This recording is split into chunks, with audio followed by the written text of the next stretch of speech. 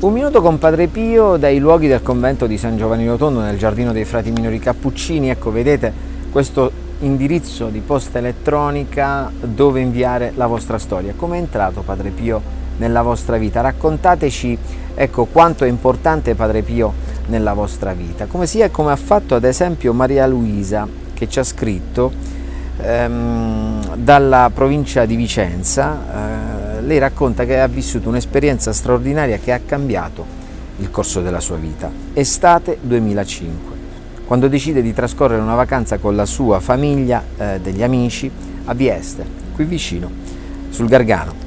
Un imprevisto porta il gruppo a cambiare i piani, così Maria Luisa si trova ad un bivio, solo nelle vicinanze di San Giovanni Rotondo, ed emerge in lei questo desiderio di visitare il santuario, eh, questo desiderio che diventa irrefrenabile. Decide così di approfittare dell'occasione.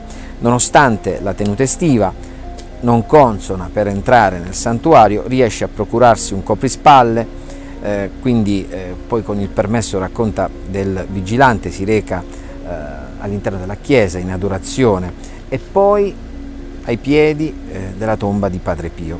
In quel momento non sa ancora che sta per vivere una grande trasformazione la sera stessa, proprio di ritorno in campeggio, Maria Luisa riceve un'email dal provveditorato agli studi di Vicenza. Dopo 15 anni di precariato come insegnante, le viene comunicata la sua insperata e inaspettata, racconta, immissione in ruolo. È sopraffatta dall'emozione e il suo pensiero va subito proprio a lui, a Padre Pio.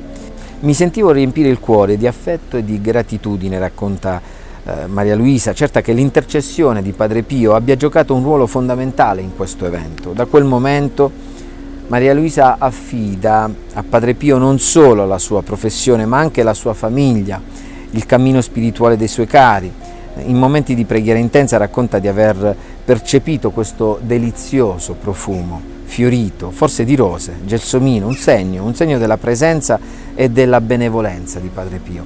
Oggi a distanza di anni con gratitudine e affetto vuole condividere questa storia, augurandosi che ogni persona possa vivere un incontro simile con Padre Pio, portatore di grazie celesti.